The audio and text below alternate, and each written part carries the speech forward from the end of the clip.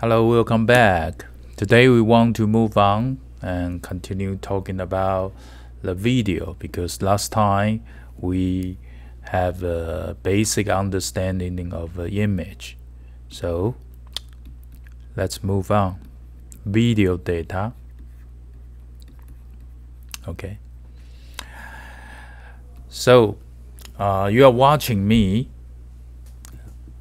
uh, explaining to you video data in a video format. Maybe uh, you watch it through the YouTube. It's a streaming video. Okay. I made the recording. I use a video editing tool. I kind of compress it in the full in the MP4 format without losing too much the detail. But actually, uh, it's already not original. That's what we call a lossy data compression. Okay, we'll be talking about the compression technology uh, in the future, but today we just want to kind of extend from image to the video. Okay, let's first uh, let me draw the image. If we have an image, we consider a still image okay? Because uh, you don't usually we call the image but the still image is something that when we compare the uh, video and uh, image okay? Why is is the image is going to move? Um, yes exactly. If you kind of, uh, for example, let me uh, create another image. Okay. Another still image, another still image. Okay. And each of the image kind of kind of change a little bit. Okay. And this is our uh, time axis okay if we do that uh, we actually can create a we call the uh, motion motion motion picture. Okay. Motion means moving right? Okay. And each of this kind of image sometimes we will call it a frame okay frame okay we have a special name for it like a, a framework but it's a frame okay? Literally it's a still image okay? If you watch only single frame it's, it's just like this still okay not moving okay? But if uh, when you capturing the video into the digital way okay actually we capture every single frame okay very very at the at the uh, use uh, maybe capture card okay? So how fast uh, uh, do we capture it? And how many frames? Normally we have uh, uh, 30 frames 30 frames per second okay? Which means in one second there's a 30 frames. This is a frame 1 okay. This is a frame 30s okay. First frame frame 30 okay. That's a lot. Okay. So if your program or if your uh, hardware device will allow you to record maybe just simply 10 second.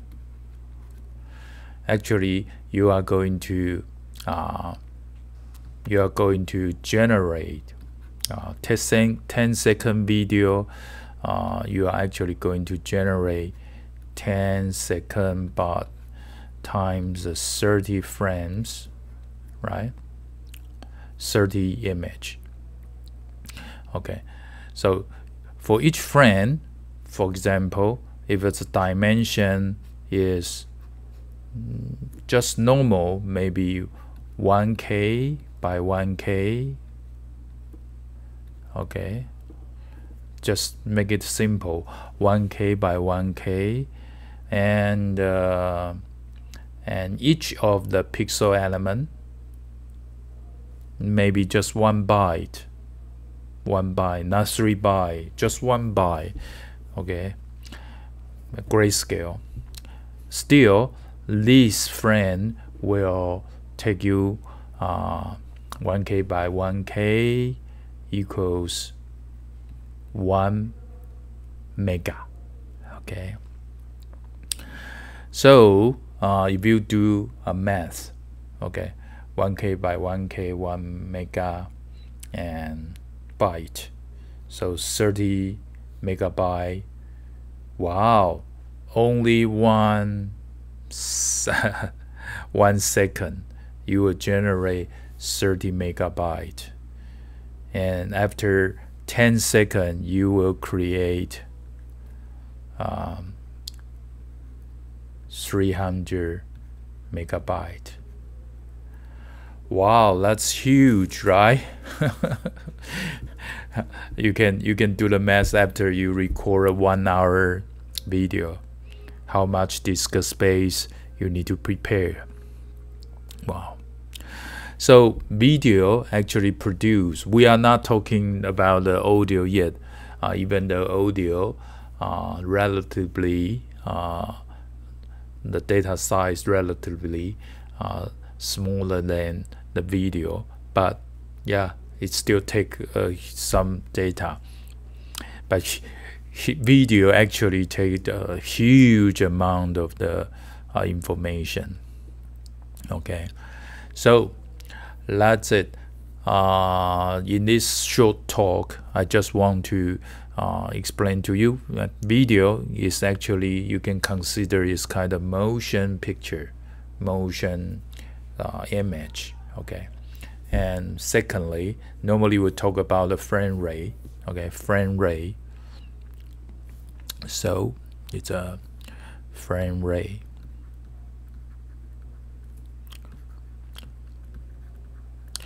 In this course um, uh, programming when we do the Java programming we will write a program uh, to allow you to play back the video okay? Normally you will have a, a real-time motion uh, at least 30 frames per second but sometimes uh, some uh, older video may not uh, capture at that speed maybe only have uh, uh, 15 frame per second. Still you will see uh, animation but not as smooth as 30 frame per second okay?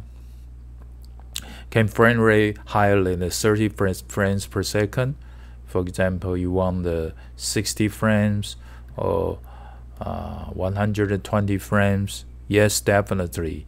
Hardware uh, uh, make make this uh, if it, you, your application have this kind of demand and you have the enough uh, hardware power to do that you can actually achieve that high frame rate.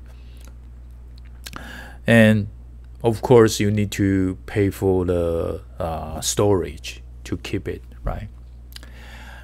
So uh, when people talk about the image video audio or multimedia one thing quite important we also need to consider how to keep it how to transmit it okay? Because those information are time kind of time related. Of course, image is, is not time related. It's just a still. But uh, uh, if it's when it comes to the video, uh, it's time related. Audio time related. Animation time related. Okay, so the longer the time you create the media, uh, the more storage you, uh, is required, right? So how can we keep it? How can we store it? How can we transmit in real time, uh, it's a problem.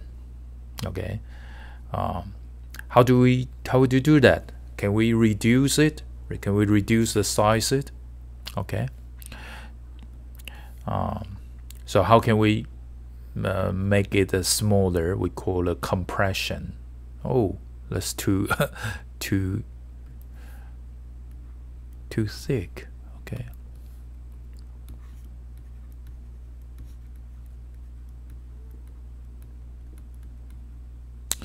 Oh, data compression. Okay, it's a uh, definitely uh, vital technology in digital world. Okay, we'll be talking about that in the in the future section. Okay, see you. Bye bye.